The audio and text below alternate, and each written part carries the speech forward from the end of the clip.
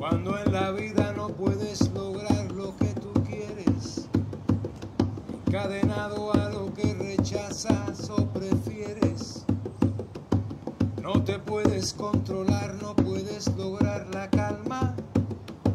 Deja que el vendaval hunda en el mar tu alma, de la garrafa que llena tu mente desbordada. Los pensamientos fluyen sin cesar. Es difícil aceptar que todo el pensar engaña. Y si quieres meditar